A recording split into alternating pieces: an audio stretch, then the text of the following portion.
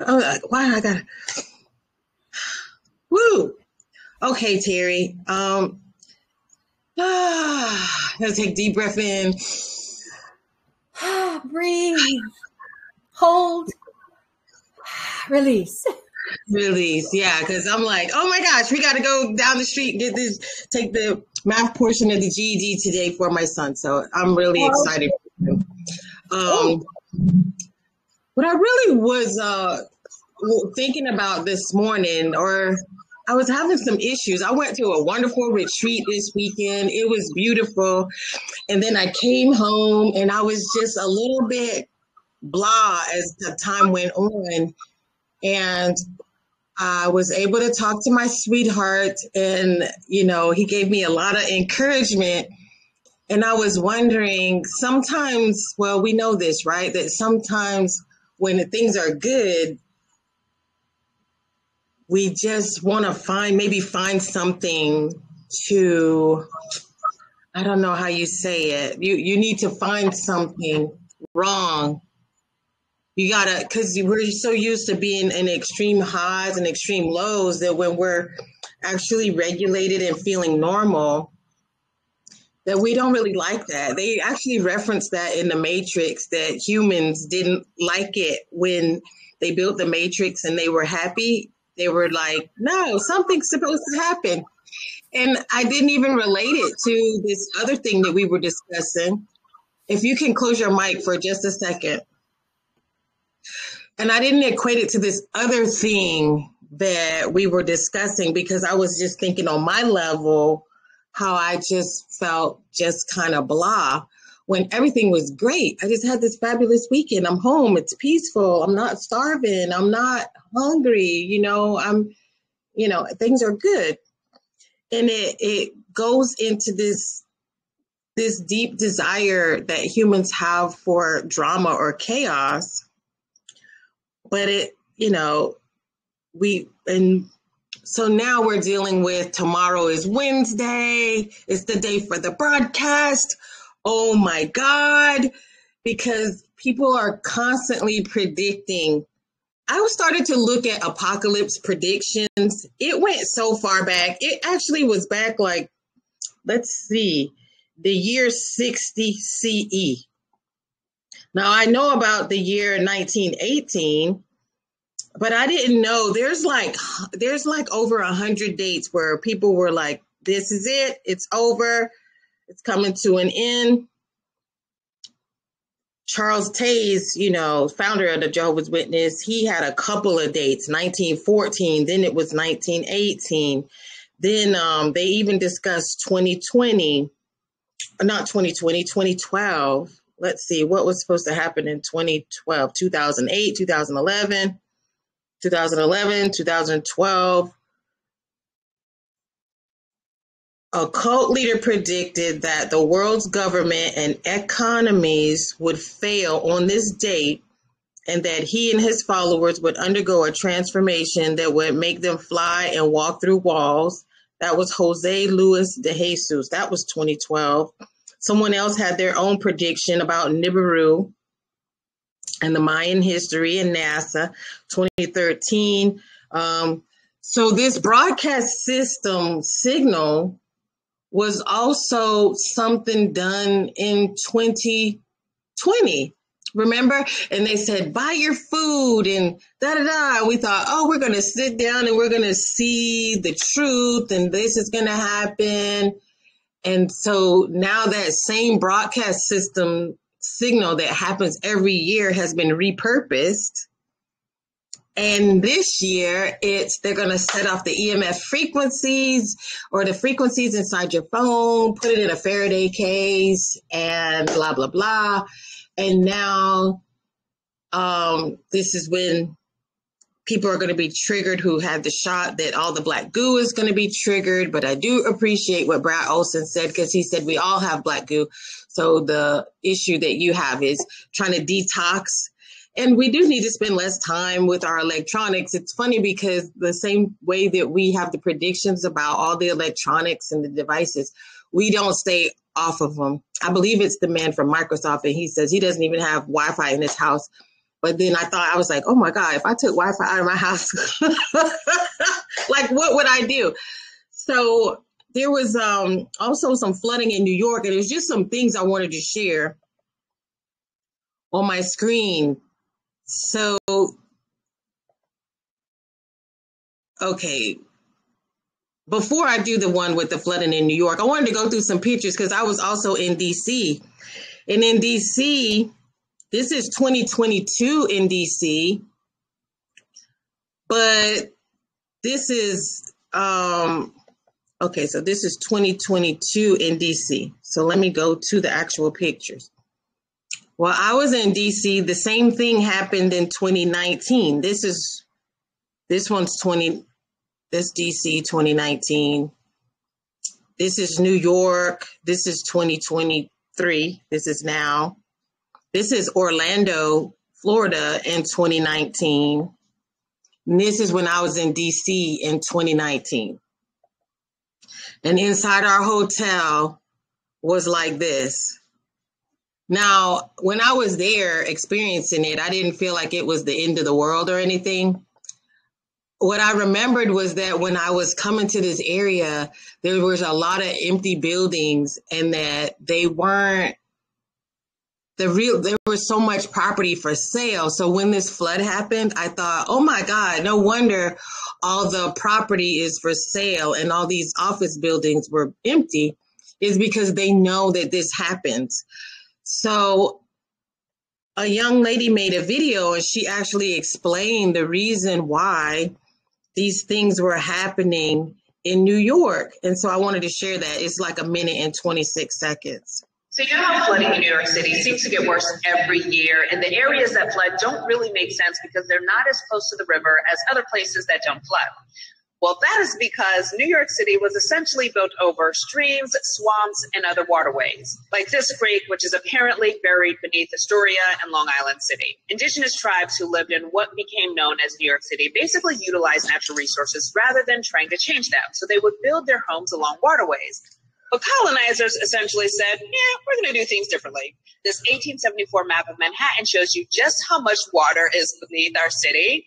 Alphabet City and Tompkins Square Park, that was essentially a swamp. And today it's a flood zone. And remember the video of Dyckman Street flooding? Look at just how many waterways that area was built over.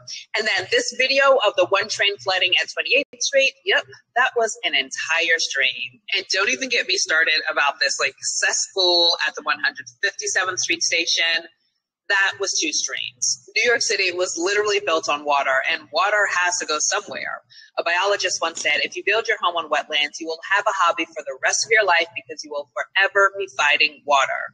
Add to that climate change and the fact that New York City's heavy buildings are literally causing the city to sink. Oh, yes, we are also sinking.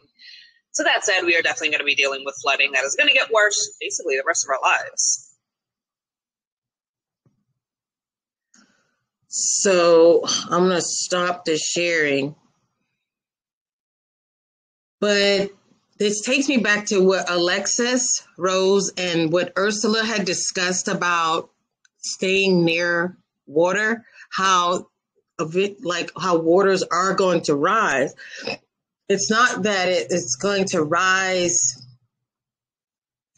that we're dealing with. The problem is you know, when you don't respect nature and you want to do it your way, like build tunnels in a place where the river is right there and you want to build these tunnels.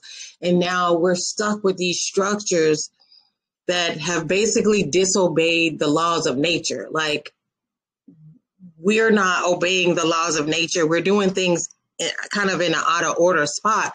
And so we can see how it causes damage but every year people equate this to oh my god you know they want to assign a special meaning to it. I um went to egypt in 2022 and er, in in 2023 someone showed a video of a sandstorm and i was thinking do you not know like that's pretty much what that region is known for sandstorms it only rains one week out of the year can you imagine living somewhere where it only rains one week out of the year? But so it's extremely dry. It's the desert. And when it has those sandstorms, that's normal.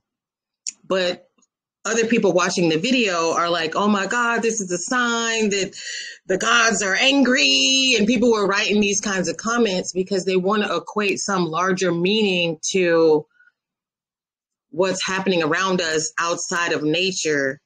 And it really is just that we've been so focused inward, like that we don't even notice the pattern of the emergency broadcast system every year that they've been doing this for however long. We don't notice that it floods every year in DC. We don't notice.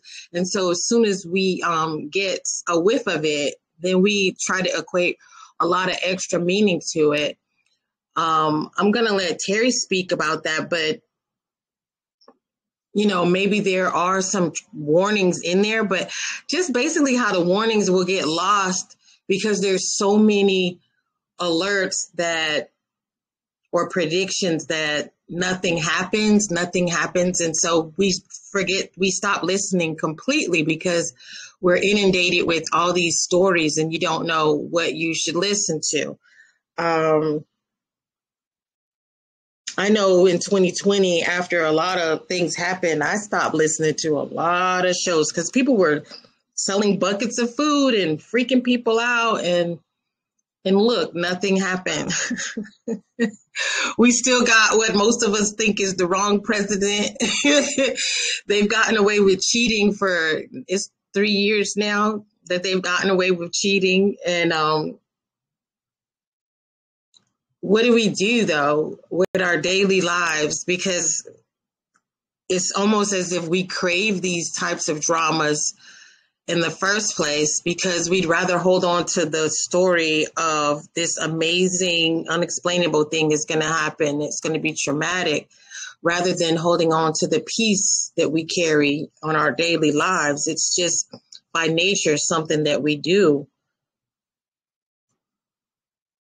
And Terry, I don't know if you had something you wanted to add to that because I think you did. Well, I, I, just want to add to the fact that when you were talking about uh, cities being built on on swamplands and everything, we see this all the time, and it's not only big cities; it's even rural areas. People want to live on the river. They live on the river. The river floods all the time, and they're going to end up having they live on a floodplain you're going to expect to be flooded. And mother nature nature has a way of uh, is very powerful. And you know then you have this faction saying oh it's all because of climate change. No it's because people are not respecting the natural flow of the of the water of the rivers of the Uh, of the earth, how things are. So, you know, build your house on high ground. Make sure you have a good foundation. If you're going to build it on sand, it's not going to last. So, I think those are those are things that we also have to equate in our life is what are the foundations that we're building this stuff on and it's yeah, you know, people will have what's the color, what's the flavor of the of the day, you know, somebody standing up and saying, "Oh, there's going to be this emergency broadcast," or "Oh, the world is going to end on the 23rd of September because all these dates are are everywhere." And so we we get so um, pulled into it that when it doesn't happen, there's it's it's, it's anticlimactic, and then I think what happens is then we become desensitized to a lot of information that is actually um, appropriate. So, yeah, yeah. It, it honestly makes me wonder if, you know, people are calling certain groups of society sheep because as soon as an emergency comes, they react by what? Dosing themselves. Yet, on the opposite end of the spectrum, you're the wise one, you're the woke, you're the conscious. But then every time someone mentions emergency broadcast or act of nature, it's like you know, get out your go bag. And it's like, it's as if I've always believed there's a left and the right. You guys are going to hear me say this so many times, and that there's people chosen to lead on the left and people chosen to lead on the right. That's with our government. And then that's with government versus anti government. People who are anti government are just as susceptible to this chaos. And I do believe there's people appointed to anyone who's in the spiritual community. There are people appointed and put here people who are put in the UFO community, in the truther community, in the Trumper community, in the disclosure community. There's people placed in each area that are here as powder kegs to blow things up and make things happen to lead you all to chaos. Because if you know that the system is so built around order out of chaos, then you have to know that there is no true escape from it, that there's there's beings put in each category that relate to you, look like you, act like you, and they're put there to help drive the drama because there's loosh. Like, even though you're away from politics, there's still loosh in spirituality, there's still loosh in UFO communities. There's still loosh in Trumpers, and because there's still a lot of anger, a lot of bitterness, a lot of jealousy, a lot of rage, a lot of outrage being promoted in each area. So that's why I'm always saying take a step back and figure out what are people campaigning about? Are they campaigning about extreme positivity or extreme separation? Because that's going to tell you to take 10 steps back from what you're doing to understand that maybe there's something going on underneath the surface and it's not exactly what is being spread to me. And I'm not even saying that people are doing this willfully. There's some deep, when you're programmed, there's a certain level of understanding of I need to deprogram. But the programming is so layered and so deep that there's parts of your program that live in opposition. So where you're saying I'm I'm deprogramming myself, I'm stepping away from the system, but there's these layers of beliefs that you have that are built on programs that you haven't even tapped into. So there is no point at which you're like, I have fully made it because you're still going to be growing and looking deeper inside yourself to find self limiting beliefs, triggers, anxieties, um, little programs that trigger you to respond a certain way. And you've been trained to respond for so long that you cannot walk away just saying, I got it. You have to keep looking and seeing who is triggering you. Why are they triggering you? What are they promoting? What are they selling?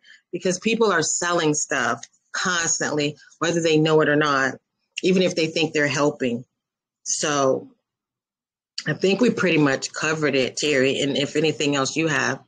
Yeah, I, I'm just going to say that they and We have an election here in the province I live in in Canada, and I was just reading from somebody's um, campaign here, and and you know we we hear about like the smart cities and everything, and those 15 minute cities, and people don't know what it's about. But I've got somebody here saying working to provide funding for businesses, industries, and institutions to identify pathways to decarbonization.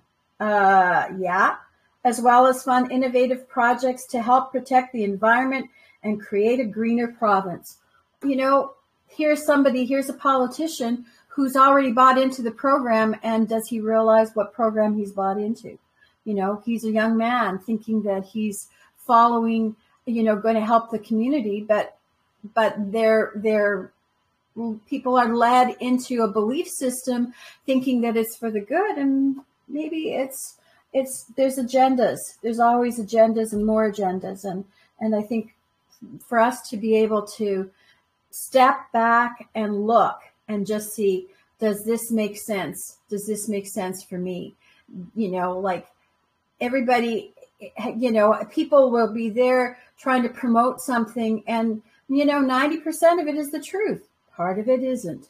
Um, so that's where you get those whole idea of this conspiracy theories.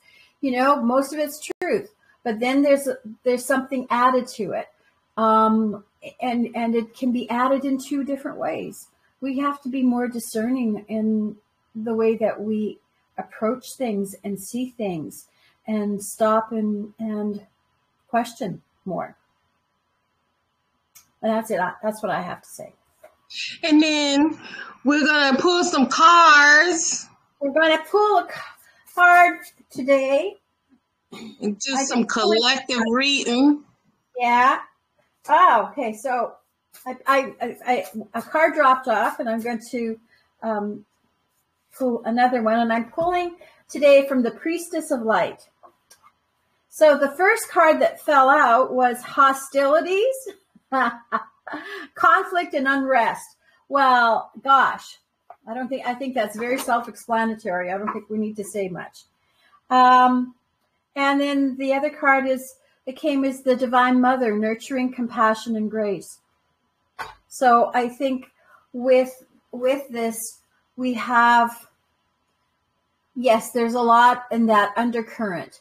And maybe it's about us finding the grace that's there and connecting to that aspect of the divinity, the feminine, about that nurturing and seeing it for perhaps all of this chaos is meant to bring the stuff to the surface that isn't serving us as humanity anymore. And there's no one person who's going to be a savior.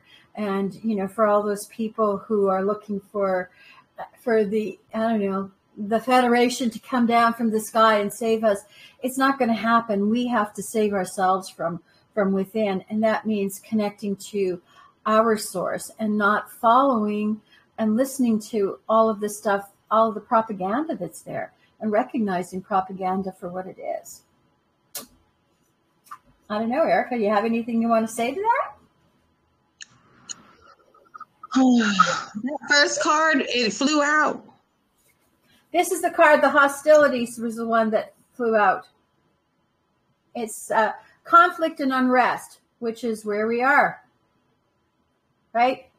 Yep, and we're right after a full moon, and they both got moons on it. Yeah, we're both coming. We're coming out of a full moon sequence, and it's pulling out a lot, pull, pulling out a lot of energy from people a lot of emotions. And so sometimes we have these emotions are misplaced and we have to find a proper place for all of these emotions. And definitely taking them out of hostility and distress and fear and anxiety and putting them in a place of peace. And so actually, you know, coming out of that part of yourself that is needy and maybe wanting um, to be nurtured. And if you can have a partner or a friend that helps you nurture and find that place that's good, but definitely it's something that you always have to be mindful to try to do for yourself. And I found myself taking lots of deep breaths and holding and what, you know, just processing not being reactive to where I had to go pick up the phone and call somebody to fix it for me, but just to be at peace and observing myself and then being gentle with myself. Like, just because that's happening, it doesn't mean that you're a loser. It doesn't mean that there's anything wrong. And some of us, we feel like we're weak because we cry or we are, um, maybe weak because we shared TED, share, shed tears and emotions, but there is strength in silence. You know, people think there's a lot of strength in being loud and fighting and being rude, but there's even more strength in the person that can find peace and bring their energies together and deal with themselves on the inside rather than having an outburst all the time. There's a lot of strength in a person who, um, who can carry their burdens and process it. And so do not feel that because you shed many tears. A lot of the tears that we're shedding is not necessarily all our own tears. Some of this is us being able to process for the collective that we're able to process these emotions. And another friend of mine, we were having a discussion about sometimes when you see a tree or you see a color or you see, you know, and you get so emotional about it that you think it's something wrong with you, but it's not. You are here for a reason. You serve a purpose, and you're like an energy tower. You're like a pillar of strength. You're a pillar of light for this um, dimension that we're in. And you're doing a lot of work in your sleep, in your daydreams, in your waking hours. More work than you think. So just do not be so hard on yourself, but just understand that you are a champion and you're beautiful and that you're doing a lot of work and just give yourself room to be sad and room to process emotions and room to give yourself a hug and give yourself love and know that you are a light. Bigger than what you think bigger than what you know affecting more in this atmosphere than you even really understand Mm-hmm. Yes. And the little joke, namaste. Nah, I'ma stay. yeah. That's good. I don't know. Jax, did you want to throw anything on the recording? You don't have to be seen if you did want to add something. No, I think what you said summed it up. All right. The container will be closed and I will stop the recording.